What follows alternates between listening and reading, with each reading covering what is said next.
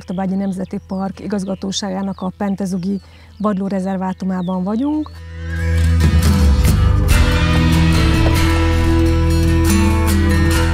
Ó, az ott az Orix, nem?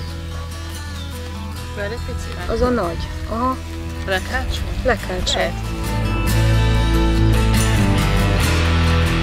A Psevalszki lovak az egy védett állatfaj, tehát ők nagyon ritkák a világban, összesen 2000 példányuk él, így em, amellett, hogy ők területet karban tartják, vigyázunk is rájuk, és igyekszünk egy egészséges populációt fenntartani. A drónoknak és a Microsoft mesterséges intelligenciák köszönhetően már rengeteg dolgot megtudtunk a vadlovakról. Itt látszanak a marhák, nagyon jól elkülöníti, és akkor ez, amikor ezt az eredményt megkaptuk, ez győzött meg igazán arról minket, hogy a, ez a Microsoft technológia ez tényleg alkalmazható a kutatásokban.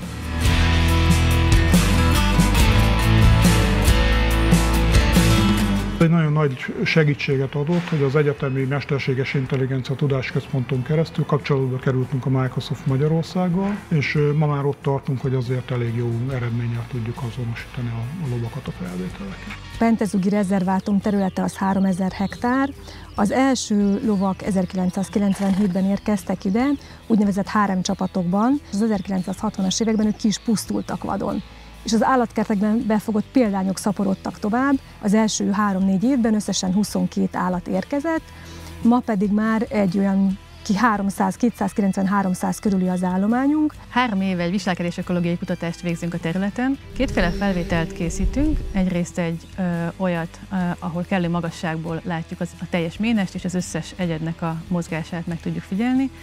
Másrészt készítünk olyanokat is, ahol ö, elég közel megyünk a lovakhoz, hogy felismerhetőek legyenek egyedileg a saját színezetük és a különböző jellemvonásaik alapján. Ezek az állatok tulajdonképpen vadállatok, ezért nem is akarunk közel menni hozzájuk, meg nem is mindig lehetséges, és a kutatások során nem szeretnénk befolyásolni a viselkedésüket, ezért a drón megfigyelés egy jó lehetőséget biztosít arra, hogy a lehető legkisebb zavarás mellett tudjuk őket vizsgálni, és, és a természetes viselkedésüket figyelhessük meg.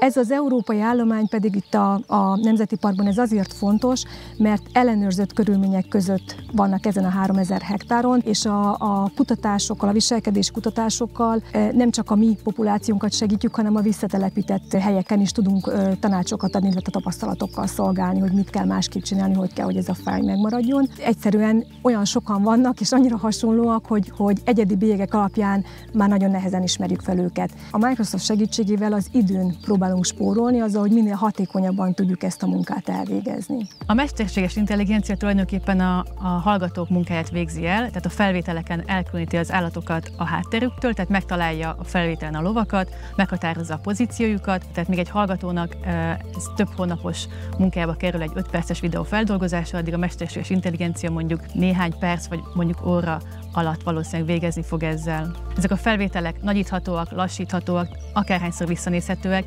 tehát egészen pontosan ki tudjuk elemezni az állatok viselkedését. És itt jön képbe a Microsoft Azure, meg az ő általuk biztosított számítási teljesítmény. Több párhuzamos gépen tudnak futni ezek a dolgok. Nem mellesleg azért itt hatalmas videókkal dolgozunk, mert 4K-s felvételekkel dolgozunk, és ezeknek a kezeléséhez is azért nagyon jó ez a számítási teljesítmény. Most pedig egy újabb részprojekttel dolgozunk, megpróbáljuk azonosítani név szerint, hogy így mondjam, tehát egyedileg a, a lovakat. Reményeink szerint nem csak itt a Hortobányon fog ez működni, ez a Microsoft technológiával megtámogatott rendszer, például Mongóliában is lehet, hogy hasznosítani tudják, ahol tényleg vad körülmények között élő populációkat vizsgálnak, és ott nem 3000 hektárról van szó, hanem 1 millió hektárról. Azért nagyon különleges, és azért szeretik nagyon a természetvédők, mert ez egy olyan faj, ami egyszer már kipusztult, de az emberi segítséggel visszakerült újra az ősi élőhelyére. A kutatás legfontosabb célja az tulajdonképpen kettős. Egyrészt gyakorlati szempontból hozzájárulni ennek a fajnak a megvédéséhez, a természetvédelméhez. Másrészt pedig nagyon fontosnak tartjuk azt, hogy, hogy ezen keresztül, ezen a projekten keresztül talán meg tudjuk mutatni, hogy össze lehet hozni Magyarországon is a természetvédők közösségét, a mesterséges intelligencia használó fejlesztők közösségével, és e kettőnek az együttműködésével egy, egy teljesen új dolgot létre lehet hozni, ami még tovább segíti a természetvédelmet.